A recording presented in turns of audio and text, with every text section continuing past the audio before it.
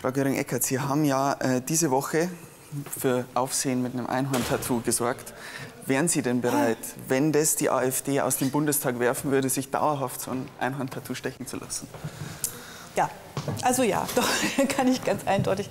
Ich habe zwar ein bisschen Schiss davor, deswegen kam das Jahr nicht so ganz spontan, weil ich habe bisher noch gar kein Tattoo, also außer diese Kinderklebedinger, mhm. das, äh, genau.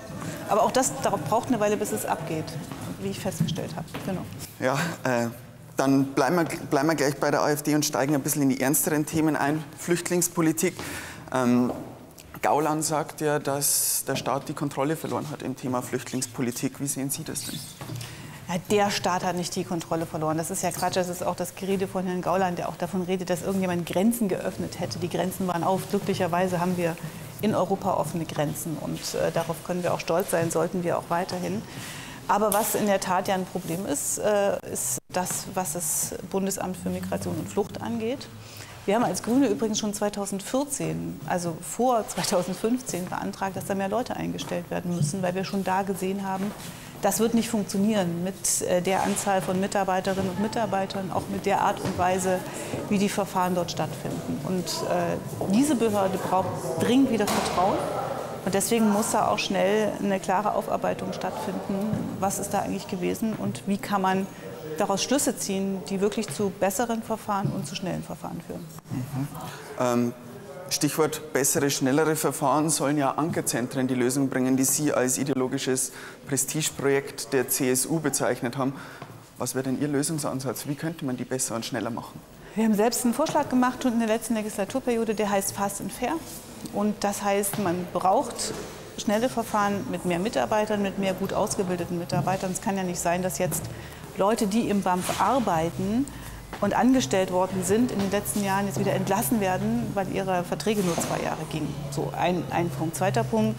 Wir brauchen eine unabhängige Rechtsberatung und zwar von Anfang an. Wir haben so viele Fälle, wo Leute Einspruch erheben, das auch ein gutes Recht dazu haben. Da bin ich wirklich anderer Meinung als Herr Dobrindt, der sagt, es ist irgendwie ähm, eine Industrie, die versucht, Abschiebungen zu verhindern. Nee, das ist unser Rechtsstaat. Das macht ihn aus, dass man gegen behördliche Entscheidungen auch Einspruch erheben kann und sich einen Rechtsanwalt nehmen kann.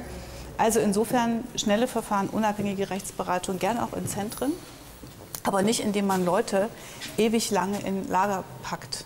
Die Gewerkschaft der Polizei sagt ja zu Recht, dass sie Sorge haben, dass damit Aggressivität erst entsteht. Und da haben sie recht. Und sie haben auch, wir haben auch recht, wenn wir sagen, man kann nicht Kinder über Monate in solchen Lagern lassen, wo sie nicht in die Schule gehen und wo sie nur konfrontiert sind mit einem einzigen Thema, nämlich mit Hoffnungslosigkeit, was ihre Situation angeht.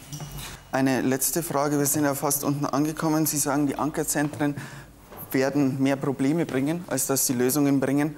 Ankerzentren werden wohl kommen. Welche Probleme stehen uns denn bevor? Ja, uns steht bevor das, was die Gewerkschaft der Polizei sagt, dass es mehr Aggressivität gibt. Uns steht bevor, dass wir Kinder haben werden, die ihre Kinderrechte, die sie ja haben nach der UN-Kinderrechtskonvention, nicht in Anspruch nehmen können auf ein freies Leben, auf ein Leben mit Schule, auf ein Leben mit Ausbildung etc. pp. Und dem muss gerecht, äh, also dem muss man Rechnung tragen, definitiv. Das muss auch Herr Seehofer und wir werden nicht Ruhe lassen, bis das auch tatsächlich umgesetzt worden ist. Heute kann ich nur warnen davor, das zu machen, wenn es tatsächlich geschehen sollte. Da habe ich auch ein dickes Ausrufezeichen an die SPD, dass sie das nicht zulassen. Okay, Frau Eckert, vielen Dank, dass vielen Sie sich Zeit genommen haben und gute Weiterreise. Sehr gerne.